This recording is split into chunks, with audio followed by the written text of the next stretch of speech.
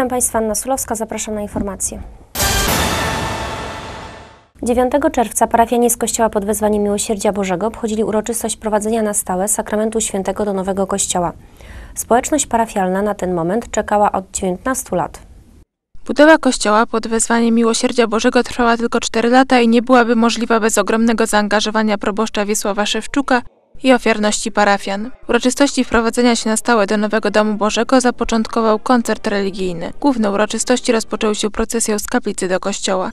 Następnie przeniesiono Najświętszy Sakrament, poświęcono ołtarz i tabernakulum. Uroczystością przewodniczył ksiądz biskup Stanisław Dowlaszewicz z Boliwii, który udzielił sakramentu bierzmowania. W przeniesieniu się do nowej świątyni uczestniczył także metropolita lubelski ksiądz Stanisław Budzik. Parafianie nie kryli dumy z prowadzenia się do nowego kościoła. Przepraszam, czy podoba się panu kościół? Tak, A co najbardziej? e, ołtarz.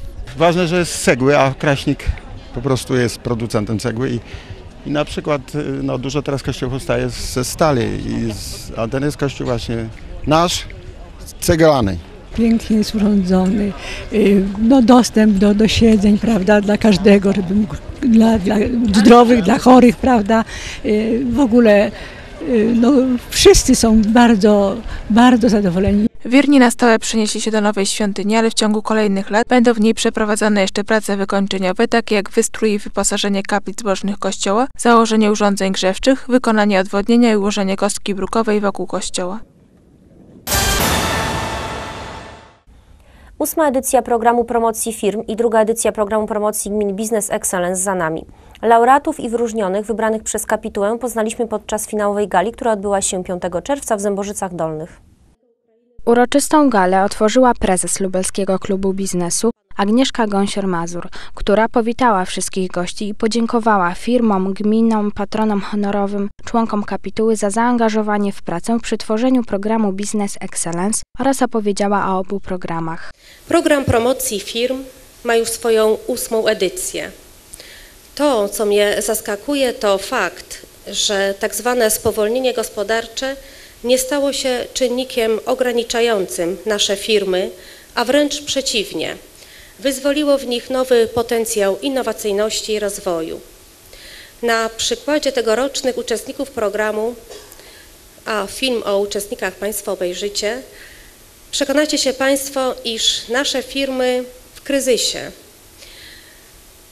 otwierają produkcję, eksportują towary, kooperują z firmami strategicznymi na globalnym rynku, wdrażają innowacje, a co ważne, niekiedy wprost zaaplikowane z naszych lubelskich uczelni.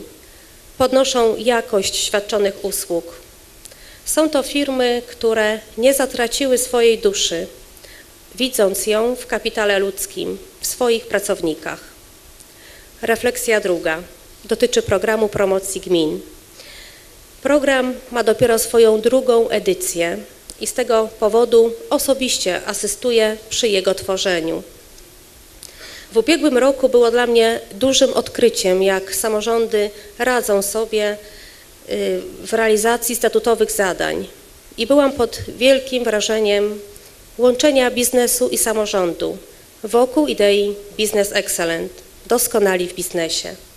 Dziś nic nie straciło na znaczeniu, ale mam wrażenie, że kolejny rok to kolejne wyzwania. Głos zabrali także zaproszeni goście. Podczas gali zostały przedstawione dwa filmiki prezentujące działalność firm i gmin z województwa lubelskiego, przyczyniające się do wzrostu gospodarczego i promocji Lubelszczyzny, które zakwalifikowały się do finału. Długo oczekiwanym momentem było ogłoszenie wyników. Nominowanych oceniła kapituła złożona z ekspertów wybitnych ekonomistów, która wyłoniła laureatów i wyróżnionych w obu programach. Tytuł laureata ósmej edycji programu promocji firm Business Excellence w kategorii Mała firma zdobyła fabryka grzejników Verano. Wyróżnieni zostali Zakład Obróbki Metali Komech, Europejskie Centrum Kształcenia Eureka oraz producent paliw firma EcoBenz. W kategorii Średnia firma nagrodzono spółkę WSK Tomaszów Lubelski. Wyróżnienie otrzymali Fabryka Kabli Elpar oraz przedsiębiorstwo Cewar. Laureatem w kategorii Duża firma została firma Polskone, natomiast wyróżniono przedsiębiorstwo Remzap. W drugiej edycji programu promocji gmin Business Excellence laureatem w kategorii Gmina Wiejska została Wólka Lubelska. Wyróżnione zostały gmina Urszulin, Łuków i Wierzbica. W kategorii Gmina Miejsko-Wiejska zwyciężyło miasto Ryki, zaś wyróżniona została gmina Tyszowce. Tytuł laureata w kategorii Gmina Miejska do 50 tysięcy mieszkańców zdobyło miasto Lubartów. Wyróżnienie przyznano gminie Tomaszów Lubelski. Laureatem w kategorii Gmina Miejska do 100 tysięcy mieszkańców zostało miasto Zamość, natomiast wyróżniono gminę Chełm. W kategorii Gmina Miejska powyżej 100 tysięcy mieszkańców laureatem zostało miasto Lublin. Galę uświetnił recital Anny Sokołek. Forever you'll stay in my heart. You must have known Możesz być dumny z Polski. Pod tym hasłem odbyło się spotkanie członków regionalnych struktur Platformy Obywatelskiej. Swoją obecnością zaszczycili uczestników minister skarbu Włodzimierz Karpiński oraz minister rozwoju regionalnego Elżbieta Bieńkowska. Minister Skarbu Państwa podkreślił, że Polska pod rządami Platformy Obywatelskiej pokonała bariery gorszego chłopstwa w Europie. 10 lat temu byłem z samorządu puławskiego delegatem do Rady Europy. Nie liczyła się Polska w ogóle, na żadnym etapie. Dzisiaj Polska je, wy, wystawia cenzurki, Polska redaguje dokumenty najważniejszych polityków Polski. Minister przybliżył dokonania rządu Platformy Obywatelskiej. 18% skumulowanego wzrostu gospodarczego. Prawie milion miejsc pracy przez ostatnie lata. To są realne dokonania. To są realne dokonania, które przekładają się z jednej strony poprzez dobre rządzenie, z drugiej strony na wzrost gospodarczy. I tak jak premier powiedział, czas pracy, miejsc pracy, czas ochrony rodziny i czas odpowiedzialnego zarządzania finansami publicznymi stanowią podstawową kanwę naszego rządzenia. Włodzimierz Karpiński zwrócił szczególną uwagę na inwestycje infrastrukturalne i kulturalne realizowane w naszym państwie oraz na wydłużenie urlopu macierzyńskiego, które było wynikiem postawienia przez rządzącą koalicję na rozwój rodziny. Minister rozwoju regionalnego skupiła się m.in. na podsumowaniu okresu programowania 2007-2013. Jeśli chodzi o ten budżet, który w tej chwili kończymy, to jest budżet rzeczywiście wielkiego sukcesu. Jak żeśmy przychodzili, Państwo być może też pamiętają, i ja byłam traktowana jako mm, no, blondynka znikąd, nie wiadomo skąd się wzięła i w ogóle nie wiadomo jak sobie z tym poradzi. No i oczywiście y, rząd cały w zakresie środków europejskich, nie wiadomo czy wie co robi i co, e, i co będzie robił, ponieważ no, mm, tak to wtedy wyglądało. Stanęliśmy przed, przed, taką, przed takim wyzwaniem, że mamy 68 miliardów euro w ogóle niezaczęte, nic nie ruszone, niektóre programy nieskończone, być może Państwo już teraz tego nie pamiętają i ja to też cały czas zapominam, ale ten największy program, z którego jest 17 zbudowana, jednak serce rośnie, nie? To ja to zrobiłam. Prezydent Lublina podkreślił rolę minister w budowę S17, która jego zdaniem powinna nosić jej imię. W ramach podziękowań wręczył na ręce minister bukiet kwiatów. Minister mówiła także o nowym okresie finansowania. Mamy pewne ramy komisji, ale mamy swoje własne y, plany, które będziemy wypełniać pieniędzmi europejskimi, ale też pieniędzmi krajowymi. Prezydent Lublina Krzysztof Żuk podał przykłady tego, co udało się zrobić w Lublinie podczas jego kadencji. Zaakcentował, że Lublin staje się lokomotywą rozwoju dla całego regionu. Jak wielkim czasem przełomu jest e, ten okres, ta kadencja, w której jako prezydent e, powołany z ramienia Platformy Obywatelskiej e, i współodpowiedzialny wraz z Platformą Obywatelską za rozwój naszego miasta, jaki przełom zapewniamy. Bo proszę zauważyć, na dole inwestujemy na poziomie 2 miliardów złotych. Pozyskaliśmy 1,5 miliarda środków europejskich i pozyskujemy dalej z panią minister będziemy niedługo rozmawiali jeszcze o kolejnych e, projektach. To oznacza, że my dzisiaj zaspokajamy nasze potrzeby infrastrukturalnego rozwoju i przełamujemy barierę komunikacyjną. Ewidentnym przykładem przełamania tej bariery jest lotnisko w Świdniku. Minister Skarbu podziękował prezydentowi Lublina za efektywną pracę na rzecz rozwoju swojego miasta. Na przykładzie Lublina i Marszu Zwycięskiego pociągniemy inne miasta i miejscowości Lubelszczyzny. Trzeba ogromnej pracy organicznej, dużej determinacji i jeśli nie chcą niektórzy współpracować, niech nie przeszkadzają. Spotkanie Możesz być dumny z Polski służyło przybliżeniu osiągnięć Platformy Obywatelskiej, ale nie tylko. Troszeczkę chcieliśmy powiedzieć to, co robiliśmy dotychczas, zarówno w kraju, ale również tutaj. Ale również tutaj w Lublinie, a przecież wszyscy widzimy, że dzieje się bardzo dużo, poczynając od dróg, a kończąc na miejscach pracy, których tutaj w Lublinie yy, przybywa. Chcieliśmy również powiedzieć troszeczkę o naszych planach na przyszłość. Jednym z planów jest budowa kolejnego odcinka drogi S17. Zaproszenie ministra skarbu i ministra rozwoju regionalnego służyło zapoznaniu się przez lubelskich członków Platformy Obywatelskiej z zamierzeniami rządu na najbliższe lata. Rzadko kiedy zdarza się, aby można było przyjrzeć się od kuchni pracy wykonywanej przez pracowników archiwów i dowiedzieć się, jaką odgrywają rolę.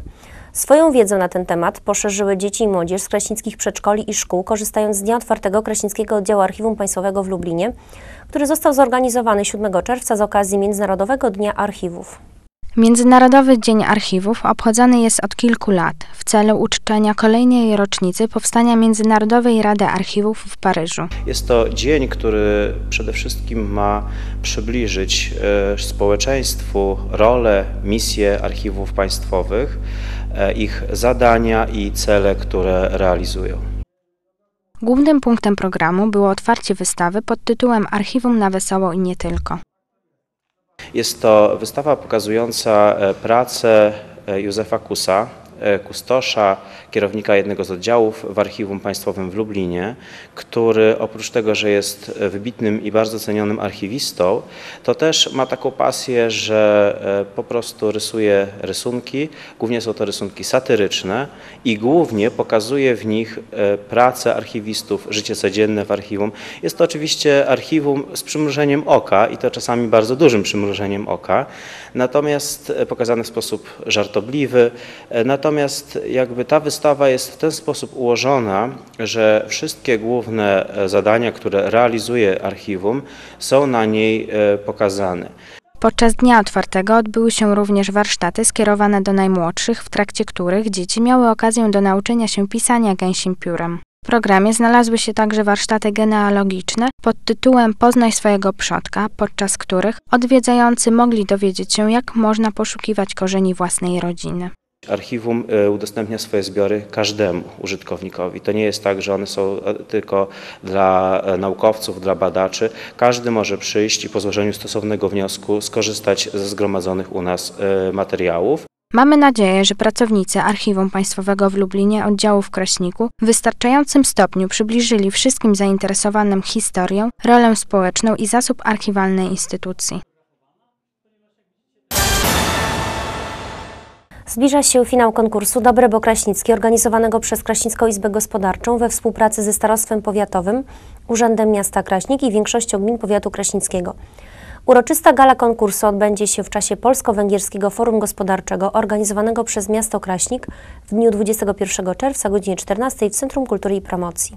Do drugiego etapu konkursu zakwalifikowało się ponad 20 firm. Laureaci konkursu otrzymają prestiżowe statuetki. Goście będą mogli obejrzeć prezentacje nagrodzonych firm. Dodatkowo informacje o nagrodzonych firmach ukażą się w okolicznościowej publikacji poligraficznej pod tytułem Konkurs Dobre Pokraśnickie – Prezentacja laureatów. Podczas gali odbędzie się recital Andrzeja Zagdańskiego, solisty Opery Narodowej w Warszawie. Patronaty honorowe nad konkursem objęli wicepremier minister gospodarki Janusz Piechociński, minister rolnictwa i rozwoju wsi Stanisław Kalemba, marszałek województwa lubelskiego Krzysztof Hetman. Sponsorem konkursu jest Bank Spółdzielczy Ziemi Kraśnickiej.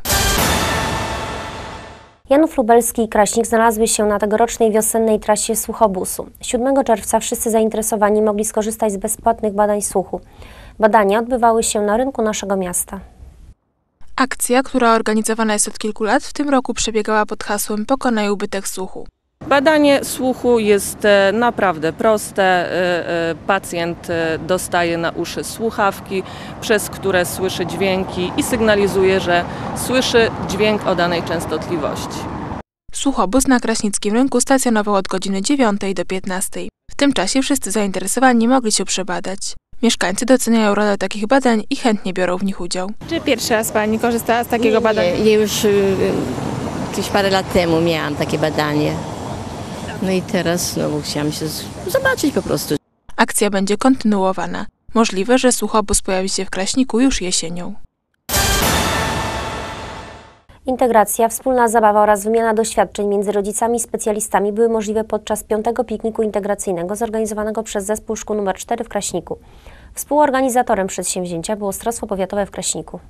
Piknik służył także zaprezentowaniu szkoły na zewnątrz. Rodzice mogli zintegrować się ze środowiskiem nauczycielskim, zadać nurtujące pytania. Rodzice mogą skonsultować się ze specjalistami. E, Dla uczniów, którzy kończą naszą szkołę, e, y, mogą rodzice zapoznać się z ofertą dalszego kształcenia, ponieważ są przedstawiciele ze szkół y, ponadgimnazjalnych, z warsztatów terapii zajęciowej. Wśród specjalistów znaleźli się przedstawiciele Powiatowego Zespołu Poradni Psychologiczno-Pedagogicznej w Kraśniku. Współpraca polega na tym, że uczniowie ci, chcąc dostać się do danej szkoły, otrzymują orzeczenia kwalifikacyjne do odpowiednich form kształcenia. Przede wszystkim piknik był skierowany do podopiecznych placówki. Dzieci mogły wziąć udział w konkursach, zabawach oraz oglądać zwierzęta egzotyczne, które wywołały najwięcej entuzjazmu. Co Ci się najbardziej dzisiaj podobało? Wąs. A podobają Ci się takie pikniki? Tak. A co dzisiaj widziałaś ciekawego? Węże, żółwie. Mi się podobało Dzień Dziecka, fajnie jest. Na wszystkich przybyłych czekał poczęstunek. Miejska Biblioteka Publiczna w Kraśniku od 1 marca realizuje program Aktywna Edukacja Ekologiczna na leśnych ścieżkach, który skierowany jest do kraśnickich szkół oraz przedszkoli. W ramach tego projektu 5 czerwca odbyło się spotkanie pod tytułem Żabi Książę, tym razem placówkę odwiedziły dzieci z przedszkola Gwiazdeczka. Spotkanie dotyczyło tematyki ekologiczno-literackiej. Mówiliśmy sobie o żabkach, ale o innych zwierzętach, które możemy spotkać zarówno w naszych ogrodach, łąkach, polach, e, na las, w lasach. E, Dzieci obejrzały bajkę, wysłuchały też bajki, e, brały czynny udział w zabawach, odgadywały zagadki. Myślę, że im się bardzo spodobały. Przewidziany jest jeszcze dalszy ciąg tego spotkania. Wykonamy sobie prace plastyczne pod tytułem Żabka. W ramach programu odbywają się zajęcia edukacyjne o tematyce ekologicznej, cotygodniowe konkursy wiedzy, konkurs plastyczny, wycieczki do Nadleśnictwa Kraśnik oraz rozmowy z myśliwym ornitologiem i leśnikiem. Program będzie realizowany do końca października, natomiast jego finał odbędzie się w połowie listopada. O tym, czym jest bieg po uśmiech i jak wiele radości sprawia szczególnie najmłodszym kraśniczanom, przekonaliśmy się podczas jego 19. edycji. W tegorocznym biegu wzięło udział prawie 400 zawodników w różnych kategoriach wiekowych. Impreza miała miejsce 8 czerwca na terenie SOS Wioski Dziecięcej w Kraśniku. Imprezę rozpoczął dyrektor wioski dziecięcej w Kraśniku, który powitał przybyłych gości i wszystkich zgromadzonych. Następnie dokonano uroczystego otwarcia 19. edycji biegu po uśmiech. Witam wszystkich w piękny, słoneczny dzień. Bardzo się cieszę, że burze poszły sobie gdzieś daleko za góry, za lasy, a my możemy tutaj rzeczywiście dzisiaj z uśmiechem, z radością przystąpić do biegu. Tym bardziej, że biegi będą dla wszystkich. Będą dla tych najszybszych, najstarszych, ale i dla maluchów. Dla tych, którzy dopiero zaczynają i w przyszłości będą chcieli być bardzo sprawnymi ludźmi. Są również biegi dla tych, którzy mimo tego, że mają jakieś ograniczenia, mimo tego, że y, coś im się w życiu nie udało, to też tutaj dzisiaj z nami się spotykają, to też tutaj dzisiaj z nami będą się śmiali. Moi drodzy, bardzo się cieszę, 19 raz jestem z Wami, 19 raz i mam nadzieję, że dobijemy, no może nie do setki, ale nie mówmy, nie mówmy nigdy, nie mówmy nie. W każdym razie dzisiaj bardzo proszę, na wszystkich czekają nagrody, na wszystkich czeka serdecznie, nie tylko serdeczny uśmiech. Będą pokazy, będą teatrzyki, będzie dużo, dużo śmiechu. A więc trzymam kciuki za wszystkich i dzisiejszy, dziewiętnasty bieg po uśmiech uważamy za otwarty.